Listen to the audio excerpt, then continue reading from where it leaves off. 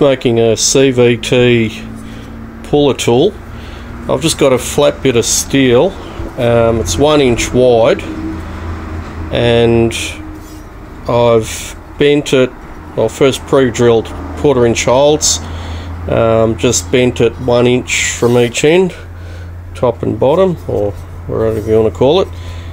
And the length of it is 17 inches.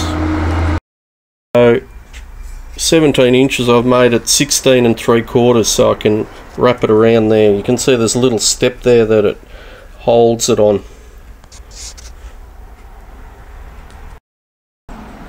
Now I've just found a piece of um, steel that's five and a quarter inches so it's a little bit bigger than what I need. And I'm just going to shape that nicely around um, that pipe just so it's nice and round so I can fit snug on the on that drum.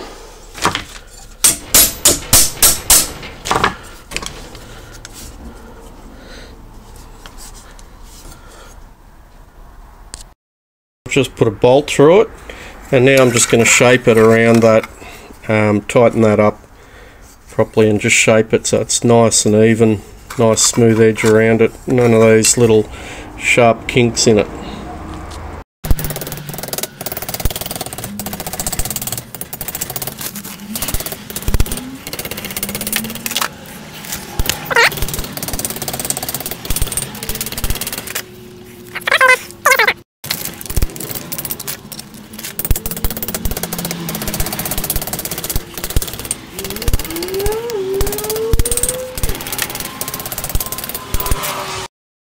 drum. And you can see just here I need to just fine tune it a bit just make that a little bit more round there on the ends. Um, but it's looking good and it just sits under that little little step. To the bottom there I just need two bits of steel that I'm going to go a little bit more so about seven and a half inches old bolt um, I don't know if some old bracket.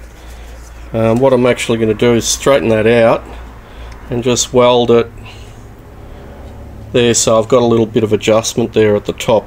Then there'll just be a flat rod that goes across and I can put like a threaded um, plate in there and so I can pull it out.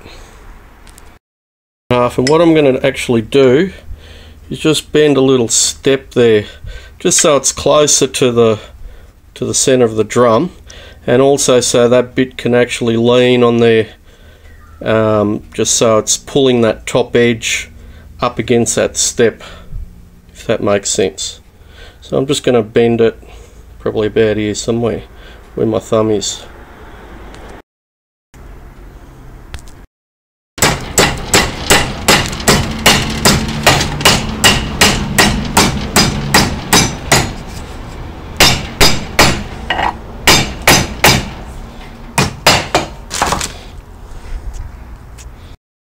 and I didn't bend it sharp enough. So what I'm going to do doesn't really matter. I'm just going to weld it on an angle like that on alternate sides so it won't matter.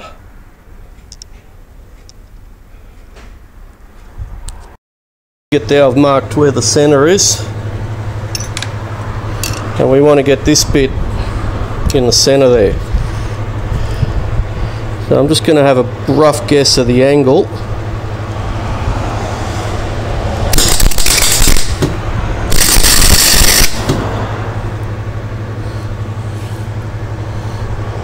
try and get it straight as we can. And I've put it on this just so this because this is only sheet metal um, so it doesn't buckle it.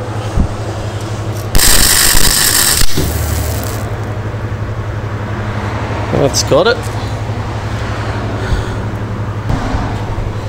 I'm just going to flip it over and do the other side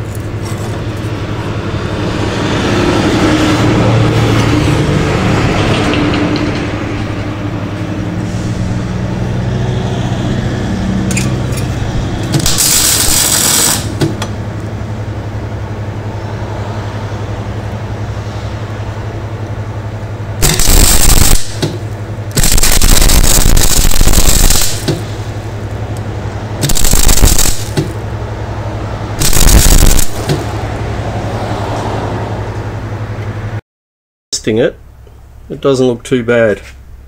Uh, this one just needs to be bent in a little bit.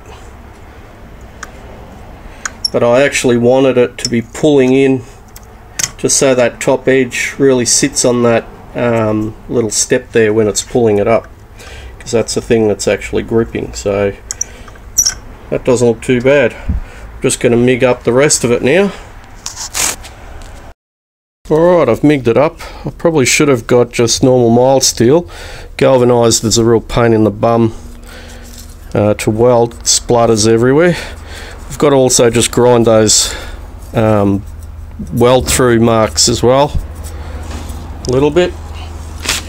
Okay, now for the plate. I'm going to need a plate that's about uh, probably six and a half inches. Half inch either side. And you can see that the centres, if you can see that, are five inches apart. So I'm going to drill two 516 holes. Um, I might need to actually slot them a little bit just so it pulls in pulls in like that. So this top edge is actually pulling into that step as I'm winding it in. And I'll need another hole in the middle where I can just tap a put a tap in and I can have a nut that's going to actually pull that out.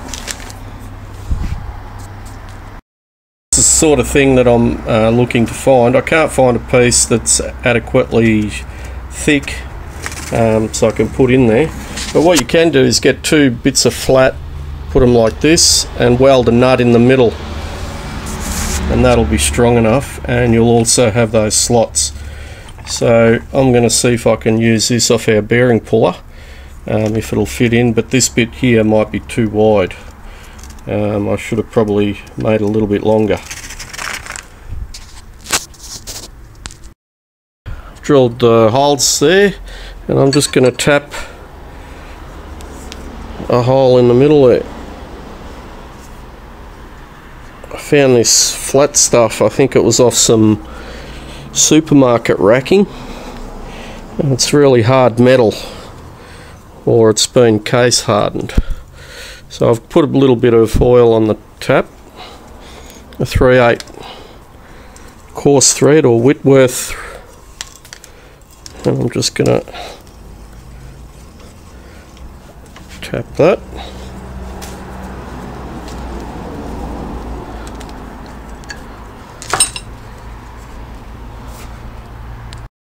See it's taking shape now. Now I need to make a little plug there on the lathe that just sits in there so I don't damage that housing. Um, just a little plug like a sort of look, looks like a mushroom and it'll just sit in there and sit on top of that um, and I'll have a center hole so when I put the bolt in I'll just machine a point on the bolt and that'll be able to just pull it up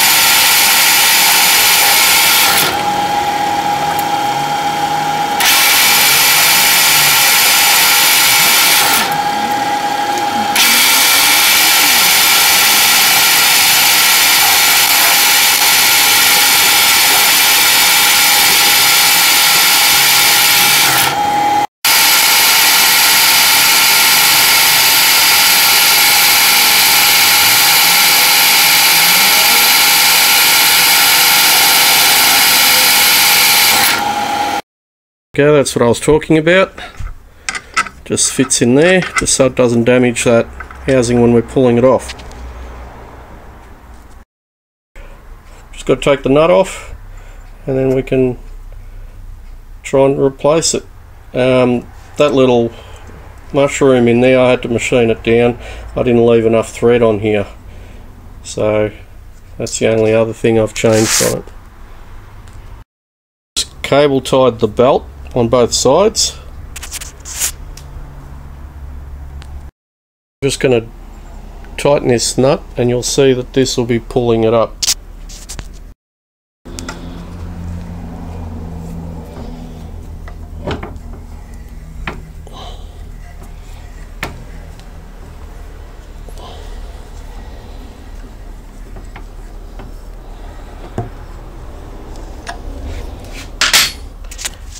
And we've gone almost to the top there and you can see that that belt's nice and loose now.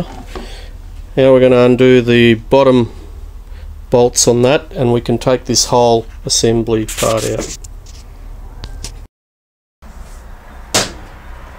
Okay, I've undone just this assembly here, that's a driven one.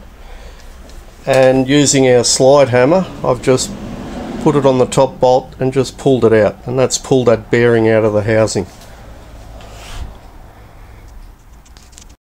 twisted it off and we've removed the, the belt